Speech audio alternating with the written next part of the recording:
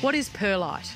Well, perlite is something that a lot of modern gardeners can't live without a little bit, and it is a naturally occurring volcanic glass. When it's heat treated, it expands and becomes incredibly porous, which means it's fantastic at holding oxygen, but at the same time holds lots of moisture. It's a bit of a miracle ingredient. And it is quite a lightweight thing to use.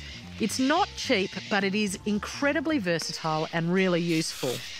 It's always a good idea to wet perlite down before handling it to minimise any dust, which, if inhaled, can be harmful.